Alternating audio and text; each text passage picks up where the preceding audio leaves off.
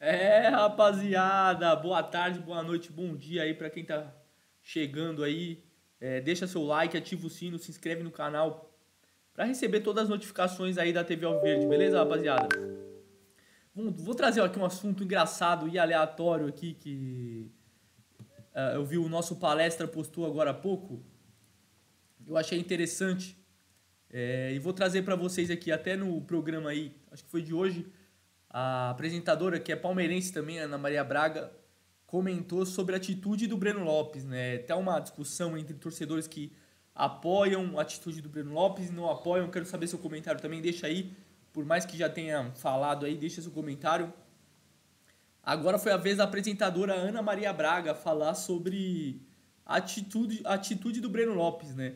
Vamos ver o que, que a Ana Maria, que outro dia até foi no jogo do Palmeiras, né? Vamos ver o que, que a Ana Maria Braga é, pensa dessa atitude do Breno Lopes aí? Vamos, vamos escutar o que ela falou. É bobagem, ó. Eu vou mandar um recado pro Breno Lopes lá, né? Breno Lopes. Não, aí tá vestindo a camisa do Verdão, tem que respeitar a camisa do Verdão. A torcida cantou isso é, pra não ele. É, não, é, não é assim também, Breno né? Lopes presta atenção, muito respeito é, com a camisa tá... do Verdão. Mas então, eu nem tava lá cantando, nem jogadores... vi o jogo, mas é isso. Os jogadores que... ficaram ao lado dele, a presidente do Palmeiras fez um post exaltando o Breno, deu até uma, uma, uma uma abalada na relação da presidente com a torcida, que já não é das melhores. Não, mas eh, se ele é bom jogador, ele vai entrar para jogar. É, o Abel não é? né? E, e, o treinador é um bom treinador, que é, a gente tá suado de saber disso, né? Então é. tem que respeitar também. Nós, torcedores, temos que respeitar e acreditar. Tu não gostou, então, que ele fez um...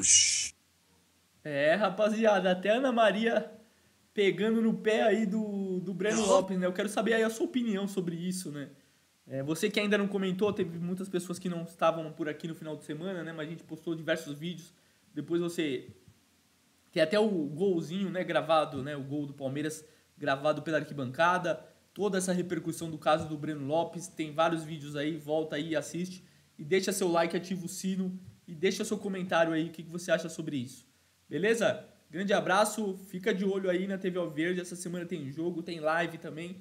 Então, eu conto com a sua participação. Grande abraço para todo mundo. Valeu, rapaziada.